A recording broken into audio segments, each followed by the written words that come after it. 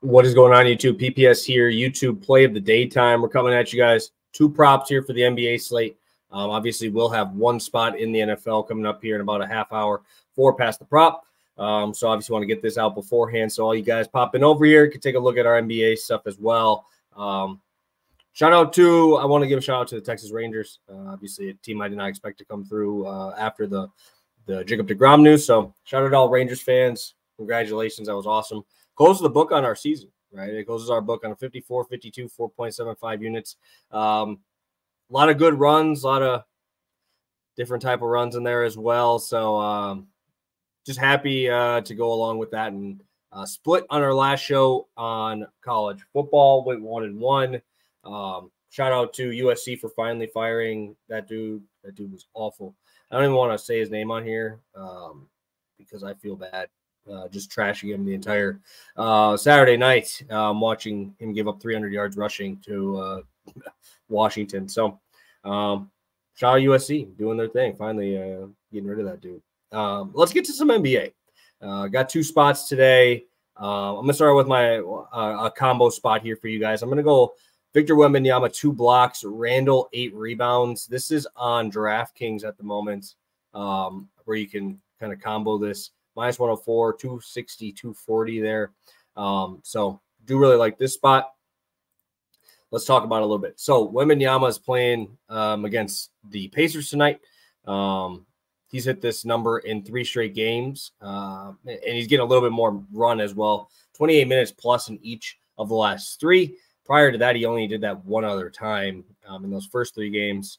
Um, obviously, getting a little bit better at, at learning, you know, the foul trouble game, and stuff like that. Uh, I do want to look at the Pacers' last couple games here um, in terms of blocks allowed. Um, they've been giving up a ton of them, man. Uh, Nick Richards had two last game. Mark Williams had two last game. Evan Mobley had four in the game before. Jarrett Allen had two. So that's four centers slash power forwards in the last two games who've hit this against um, this Indiana side. Um, and obviously, like I said, Wembanyama's hit this in three straight games, uh, averaging three and a half blocks per game in his last two. Um, love the minutes, um, 34 and 38 minutes his last two games. Um, and I expect that again tonight um, to continue. Um, I, I, think this game is going to be a little bit closer than people expect it. I, I, see that we're seeing a seven and a half point spread, like or eight and a half point spread. I don't think the Spurs lose by 10 here. I really don't. Even if Vassell sits, I think this team's good enough to stay within 10 to a team that literally what two weeks ago got 50 balled by by Boston. So I think this game stays a little bit more competitive. We've seen um, only two, uh, only one blowout really um, for them, and that was the Clippers game. They lost by 40 in that one. So I don't think the Pacers are putting a 40 ball on these boys. Uh, so sign me up for some Wemby. Give me 30 plus minutes. We're getting two blocks. Uh, Julius Randle just continues to to grab rebounds. This dude is an absolute menace on the boards right now. Um, you look at him he actually passed Mitchell Robinson for the number one rebounding chances on his team, 15.8. Um, he's been very, very good at crashing the boards. Uh, he's playing the Clippers tonight. Um, obviously, you got Zubac down there, probably matched up with Mitchell Robinson. Those two are just notorious foulers. Um, and this game is going to be interesting. Obviously, you got James Harden there, first first game. I think this is going to be a fun game, but I also think Randle is just going to continue to to grab these boards. Um, like I said, this dude has been an absolute beast for us. We literally just cashed him in our last NBA play, which was Simmons and Randle. The dude had nine and a half, right? So I, I like this spot. I'm not. I'd rather just grab this than the minus 145 on his eight and a half. Uh, just throwing in something else that I like um, and almost get plus money on it. I definitely like this spot. All right, play number two, guys. I'm going to Joel Embiid tonight. I know I'm the only thing you can worry about is blowout risk. This is literally the best matchup you could possibly ask for. Um, and the blowout risk is definitely uh, a concern, but we'll look at it here 45 and a half minus 120 there. I believe I got it at minus 115. DraftKings or FanDuel has it there. I'm just on DraftKings right now with the other spot. Um, but really, really like Embiid tonight. I mean, how can you not? Daniel Gafford. I want him to play. I want Gafford to play.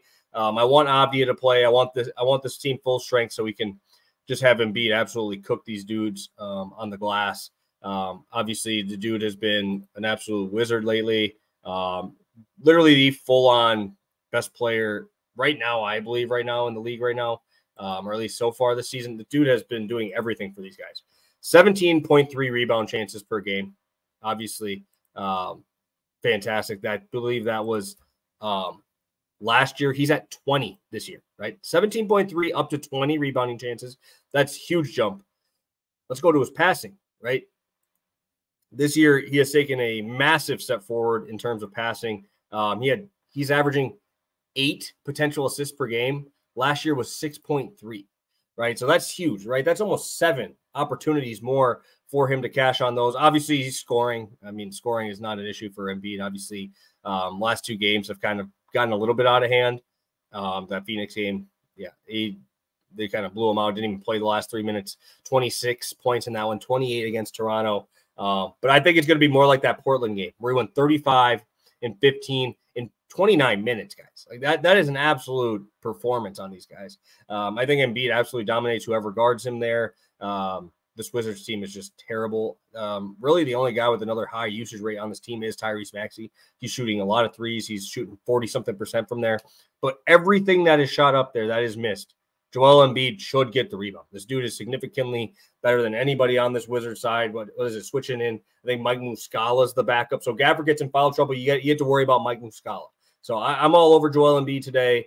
Um, like I said, the um, the enhancements to those two stats make me just want to play the rebounds and assists as well. Uh, like I said, 1.7 more potential assists per game and almost three full potential rebounds or rebounding chances um, per game there. Sign me up for Embiid.